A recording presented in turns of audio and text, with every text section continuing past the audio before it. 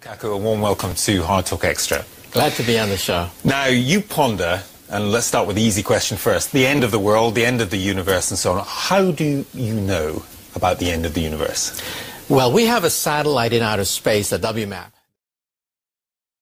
It has forced us to rewrite all the textbooks on cosmology. We physicists thought we knew it all, that the universe is made out of atoms. The old picture was that the universe is some kind of soap bubble. This is a picture given to us by Albert Einstein. And the soap bubble, well, it's expanding slowly, but it's slowing down. And we're like flies trapped on flypaper. We can't leave our soap bubble. That's the old picture. The WMAP satellite has forced us to throw out all this and introduce a whole new set of facts. First of all, the soap bubble is not slowing down. It is speeding up. It is out of control. It's expanding so rapidly that it could force a premature death of the universe. But this is the real killer now. This is what's causing so much excitement in the world of physics.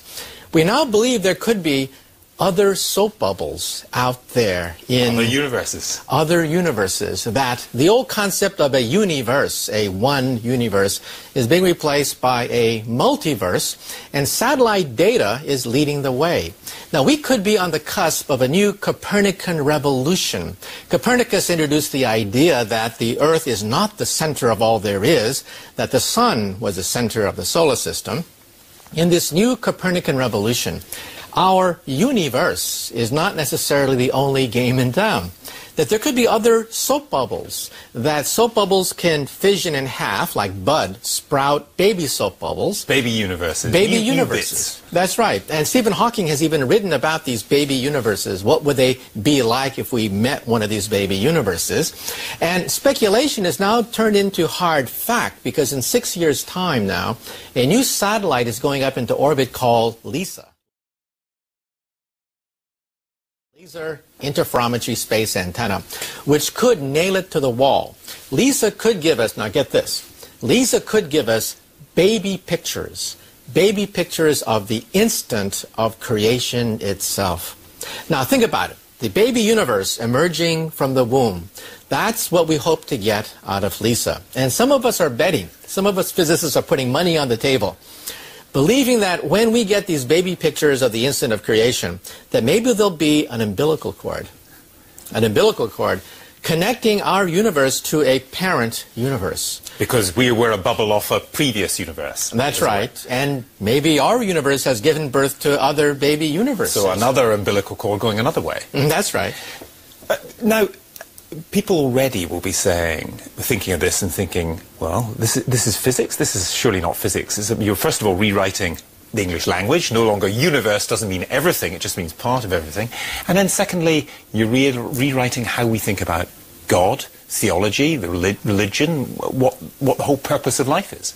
That's right. If you really think about the multiverse idea, it's staggering in its philosophical and theological scope. For example, when I was a child, uh, I used to go to Sunday school and learn in the Presbyterian Church all about the moment of Genesis. And it was such a thrilling story, this man saying, Let there be light.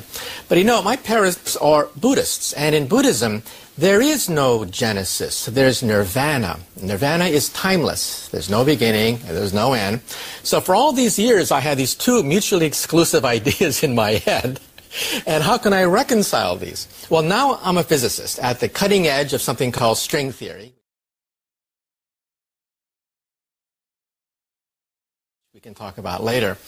But now I realize that the multiverse idea gives this wonderful blend, this melding of these two religious thinking, that Genesis, Genesis takes place continually, continually in an ocean of nirvana. That these bubbles are sprouting out of nirvana, and this nirvana is something we call 11 dimensional hyperspace. It is a much larger space that our soap bubble is expanding into.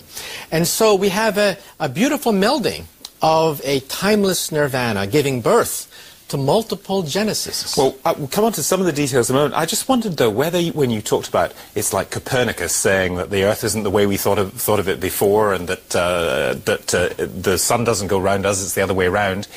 And these religious examples, you sound like a heretic. And heretics get burned at the stake. We we don't believe you. You can't. You're upsetting the natural order. Well, in 1600, Giordano Bruno, uh, a former a former Catholic priest, was burned alive by the Catholic Church for saying precisely these things. He talked about parallel worlds in outer space, other suns, and what could be more innocent than the idea of alien civilizations out there in the heavens? But think about it. If you do believe in these parallel worlds in space, the church would say to itself, is there a pope? Is there a, a trinity? Pope. Is there a parallel Christ? Is there a parallel saints? How many saints are there in outer space? How many popes? Which pope has religious uh, jurisdiction over any other pope?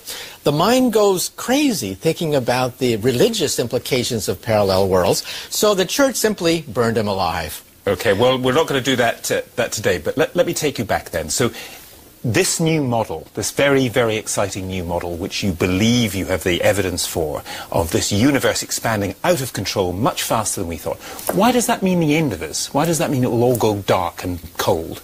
Well, even 150 years ago, thinkers like Charles Darwin, or more recently Bertrand Russell, wrote about the fact that physics does seem to say that the universe will eventually run down. It rusts we have the, what is called the second law of thermodynamics. Chaos takes over. Stars blink out. Stars get cold. The oceans will freeze over, and we'll all die in a big freeze.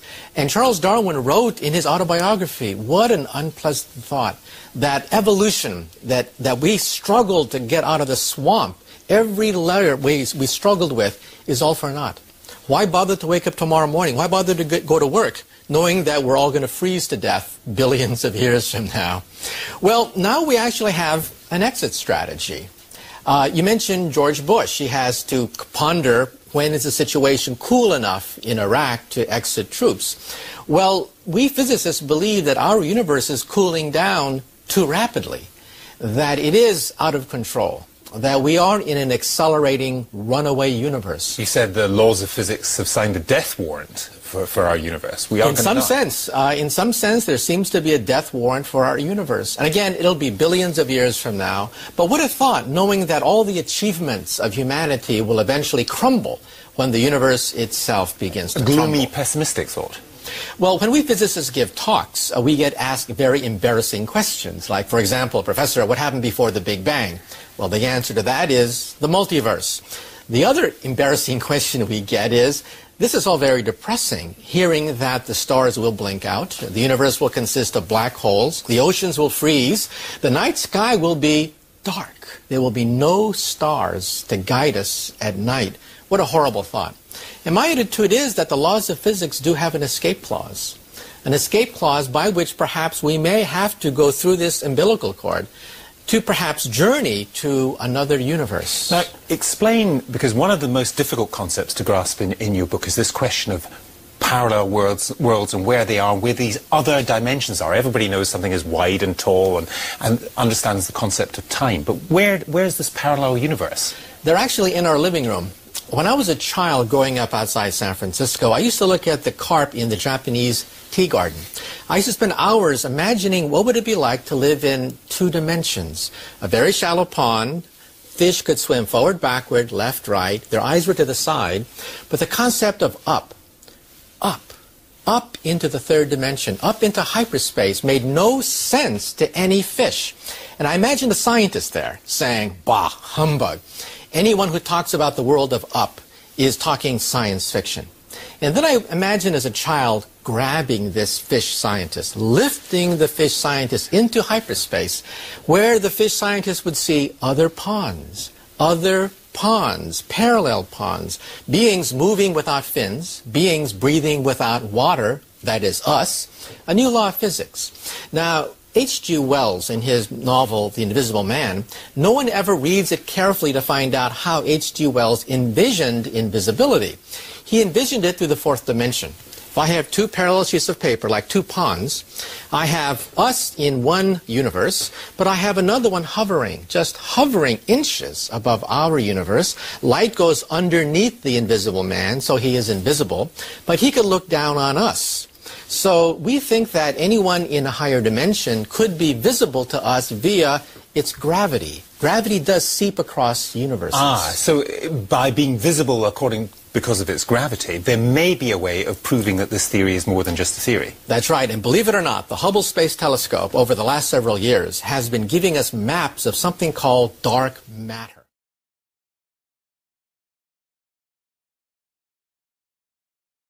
Dark matter makes up most of the universe. It's not made out of atoms. Your chemistry teacher was wrong in saying that the universe is mainly made out you of atoms. to get burned at the stake, I can see, with all the chemistry. Anyway, go on. These are the whole generations of textbooks have now had to be thrown out. The universe is not mainly made out of atoms. We are talking about dark matter. It's invisible. You cannot photograph dark matter. We know it's there because of its gravitational presence. The Hubble Space Telescope has indirectly given us maps, gorgeous maps of dark matter pervading the galaxy. Well, some of us believe that we are actually tracing out the outlines of the invisible man, invisible galaxies, invisible worlds hovering just above our universe. Invisible because light goes beneath it, but we feel the effects of its gravity which hops across universes. Which can be, can be measured. But then, Can be but, measured. But then, if that is true, at some point, some scientists somewhere will find a parallel universe, will they not? Uh, and, and they are searching for it. We, we think that, uh, first of all, you can detect a parallel universe in several ways. First of all, how does a parallel universe form? Everybody knows that when matter falls into a black hole, it disappears. But, you know, even children ask the question of their parents, gee, daddy, if all that matter falls into a black hole, where does it go? Which is a good question. Some of us believe that it's blown out the other end, that it goes through the kitchen sink, but then it's blown out into a white hole. White hole emits matter rather than swallowing it up. A white hole expands very rapidly to accommodate all this new matter flowing into it. And hey, doesn't that sound like the Big Bang? Doesn't that sound like Genesis itself? Our universe could be a white hole. A white hole expanding rapidly with matter flowing into it, connected by an umbilical cord to perhaps a parent universe. Now, when it comes to these umbilical cords, explain then, as you say, if uh, our universe is expanding rapidly and out of control, it's going to end up cold and dark and miserable. Mhm, we have a choice of dying or what? Well, as uh, Woody Allen once said, eternity is an awful long time, especially toward the end. Well, toward the end, in my book, Parallel Worlds, toward the end of my book, I actually give a blueprint, a blueprint of what would it take to open up a looking glass. Now, remember that Alice in Wonderland was written by Lewis Carroll, an Oxford mathematician known as Charles Dodgson. He knew that universes could be glued together at the hip, like Siamese twins, and he called that the looking glass that allowed you to see into Wonderland. Now, we physicists think we could do it as follows by boiling space. Now, when you boil water in a microwave oven, you know, you turn up the heat and water forms uh, bubbles inside the water. Well, if you boil space, if you heat space up to what is called the Planck temperature, the temperature of the Big Bang, bubbles form. These are bubbles in space itself, tears, rips in the fabric of space and time. They are looking glasses, looking glasses into these other worlds, connected by umbilical cords to our world. And so we realized that there could be an escape hatch, and For, for mankind, for everything that we know, not the depressing scenario you talked about that uh, Darwin painted and others, that Bertrand Russell had painted. There may be a way out. There may be a way out that the laws of physics are not a death warrant, as Charles Darwin thought, as Bertrand Russell thought. We believe that perhaps we now have for the first time a loophole in the laws of physics, that we may be able to boil space, open up these looking glasses, and perhaps in, in a civilization many years more advanced than ours, go and flee into a warmer, younger universe. This may be our only hope far into the distant future. Can you see, I want to talk a bit about the impact on, on humanity and ordinary people, but can you see why, to many people listening to this, it is almost as if theoretical physics has become a new priesthood? Because you can make the calculations, you speak this, uh, you're translating your technical language for the benefit of all of us, and we have to take it on trust that you've got it right, and this theory, perhaps, may be the right one. Well, a priesthood is not accountable to anything but its own inner logic. We are accountable to the laws of nature. We have the WMAP satellite up in orbit right now, forcing us to rewrite a whole generation of textbooks that said that there's only one universe, that there's only atoms that make up the visible universe. That's the old thing that's been replaced by the WMAP satellite. And in six years, as I mentioned, LISA goes up in orbit. And again, LISA could disprove this. The Laser Interferometry Satellite. Three satellites connected by laser beams making a triangle. The triangle is 3 million miles across, making it the largest satellite system ever conceived of by the human mind, to be launched in 2011. And it'll detect shock waves, shock waves from the instant of the Big Bang. And if the shock waves don't come out right, if the frequency of vibrations that LISA picks up does not correspond to our theories, our theories go out the window. And however, start again. however, if they confirm it, uh, this could be the greatest revolution in philosophy since the Copernican revolution. In fact, interesting you use the word philosophy because, for example, one obvious uh, question which arises, which is why should we behave well to each other? Why should individuals do good things if, if it's all purposeless, if it's not benign, if we're going to end up however we... As one uh, scientist, Richard Dawkins, put it, the universe that we observe has precisely the properties we should expect if there is at bottom no design, no purpose, no evil, no good, nothing but blind, pitiless indifference, which has, has, a huge moral dimension to it. Why, why, should we behave well? Well, look at the way Einstein looked at the question of divinity and morals and ethics. Einstein said there really are two types of God. Uh, one is the God of prayer, the God that you pray to, the God that parts the waters, the God of Isaac and Moses and Jacob, the personal God. The other God is the God of Spinoza the God of design, the God of harmony. Einstein says something very profound. He said the universe could have been chaotic. The universe could have been random. The universe could have been ugly. And yet we have this gorgeous synthesis at the origin of the universe itself, giving birth to the galaxies, the planets, DNA, life. And Einstein said that the harmony he sees could not have been an accident. That we're not talking about the design of humans. We're not talking about an intervention that gave us eyes, noses, and ears. But where did the laws of physics come from? I work in something called string theory, which has makes the statement that we are reading the mind of God.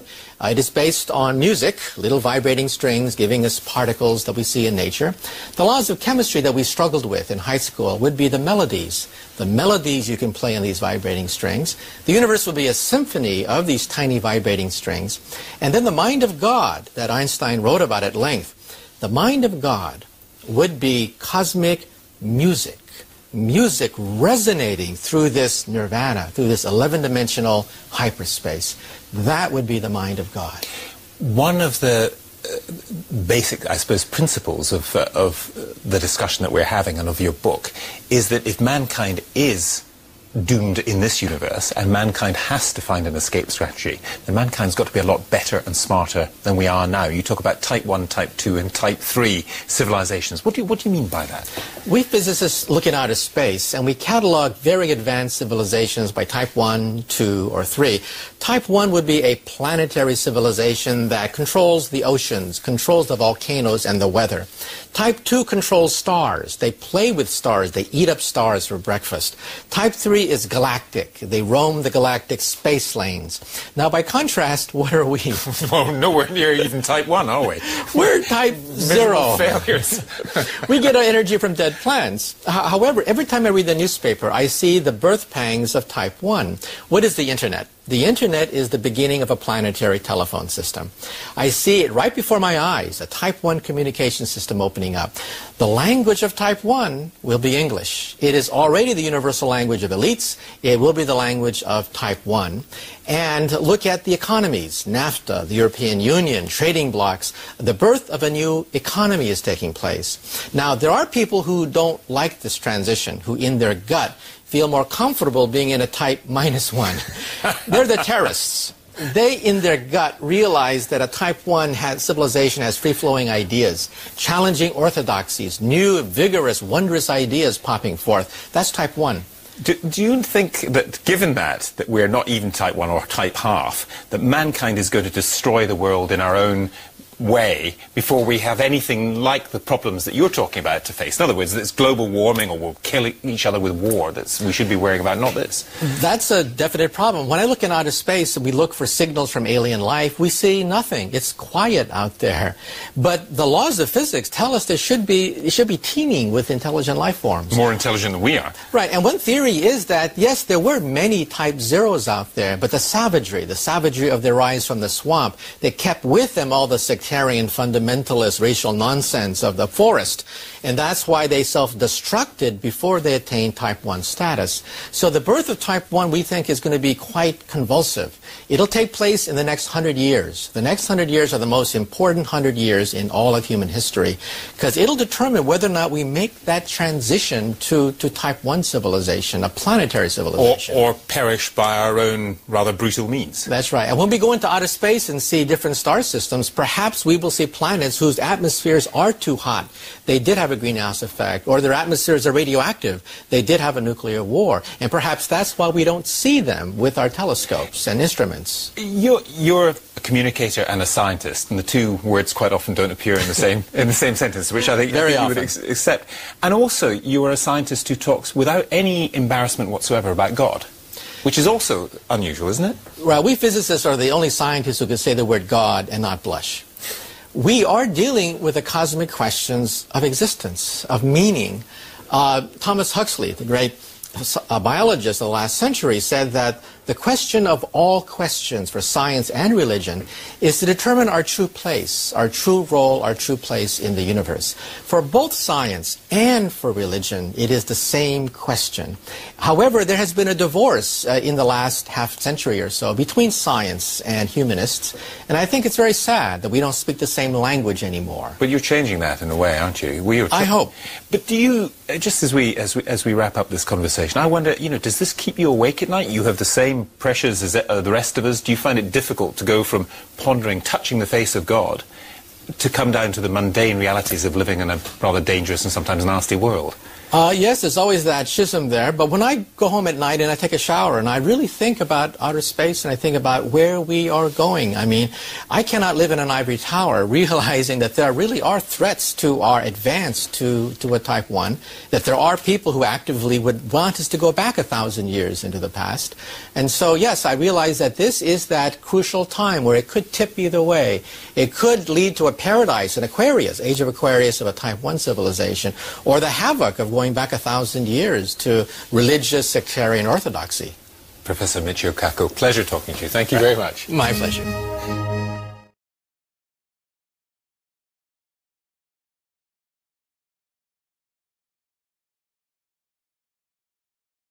Speculation is now turned into hard fact because in six years' time now, a new satellite is going up into orbit called LISA. Laser Interferometry Space Antenna, which could nail it to the wall. LISA could give us, now get this, LISA could give us baby pictures, baby pictures of the instant of creation itself. Now think about it. The baby universe emerging that the Earth is not the center of all there is, that the Sun was the center of the solar system. In this new Copernican revolution, our universe is not necessarily the only game in town.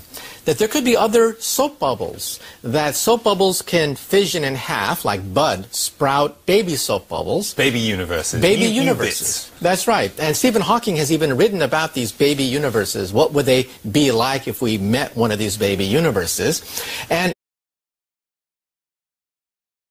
Kaku, a warm welcome to Hard Talk Extra. glad to be on the show. Now, you ponder, and let's start with the easy question first, the end of the world, the end of the universe, and so on. How do you know about the end of the universe? Well, we have a satellite in outer space, a WMAP. It has forced us to rewrite all the textbooks on cosmology. We physicists thought we knew it all, that the universe is made out of atoms. The old picture was that the universe is premature death of the universe. But this is the real killer now. This is what's causing so much excitement in the world of physics. We now believe there could be other soap bubbles out there in Other universes. other universes that the old concept of a universe, a one universe, is being replaced by a multiverse, and satellite data is leading the way. Now, we could be on the cusp of a new Copernican revolution. Copernicus introduced the idea, some kind of soap bubble. This is a picture given to us by Albert Einstein. And the soap bubble, well, it's expanding slowly, but it's slowing down, and we're like flies trapped on flypaper. We can't leave our soap bubble. That's the old picture. The WMAP satellite has forced us to throw out all this and introduce a whole new set of facts. First of all, the soap bubble is not slowing down. It is speeding up. It is out of control. It's expanding so rapidly that it could force a